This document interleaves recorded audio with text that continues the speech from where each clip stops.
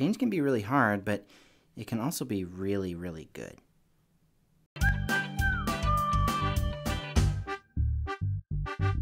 Hey guys, it's me again, Douglas, and today I wanted to talk to you guys about change. Yeah, specifically like like entering a new chapter in your life. And for me, sometimes sometimes I wish that things would always stay the same, right? Cuz it can be really hard doing something new. And for kids, you know, we're doing new stuff all the time. You know, every year you move up to a new grade in school.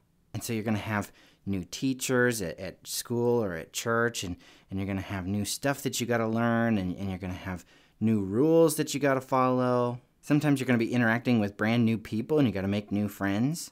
It can be really, really hard. But God can really bless you through change. With the new challenges in your life, God can bring new blessings. You know, in the Old Testament, in the story of Moses, God's chosen people, the Israelites, were slaves in Egypt. And God sent Moses to go to go save them, to go get them out of Egypt and take them to someplace new.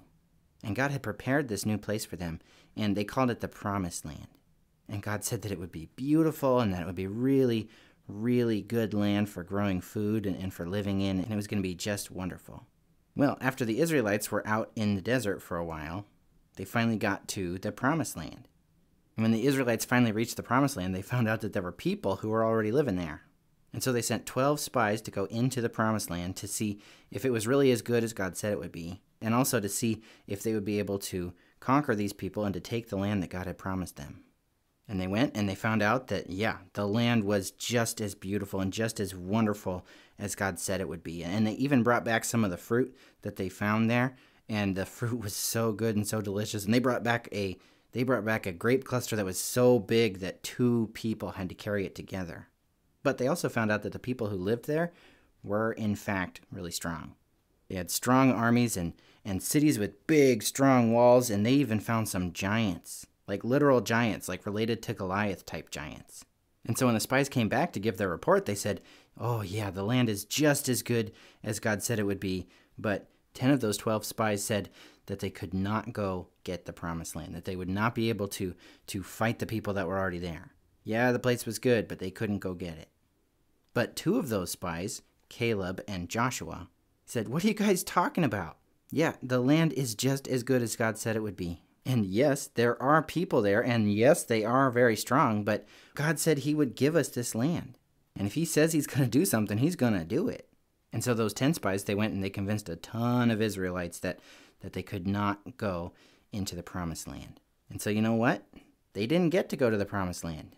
Caleb and Joshua did, but all those people who who thought that God could not bless them like he said he could, the people who focused only on the bad stuff, they didn't get any of the good stuff.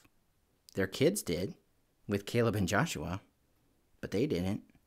And sometimes I feel like in our own lives, whenever we are are faced with something new, that we kind of tend to focus on all the bad stuff. We focus on just the challenges. And we don't think about the good things that God can bring from this new chapter in our lives. And if we totally focus on the bad, we can end up missing all the good. And so, my challenge to you guys today is that if you are entering a new chapter in your life, that you would not focus on the challenges, but that you would focus on the blessings that God can bring you. It's not about pretending that there's nothing bad that comes from change, right? There's no challenge that comes from change, because there totally is. But with God's help, I know you can overcome it. You ever heard the story of Joshua in the battle at Jericho? Yeah, Joshua went to Jericho, which was in the promised land, and Jericho was a giant walled city, and the, and the walls were so strong, Israel would have never been able to knock those walls down. So God did it for them. And with any change, with anything new, there will be challenges. But I really believe that God can bless you through that change. So whether you're moving to a new home, or you're starting a new school year, or there's any other kind of big change in your life, I really hope that you will face the challenges that they bring, knowing that God is on your side, and that you would take hold of the blessings that God has in store for you.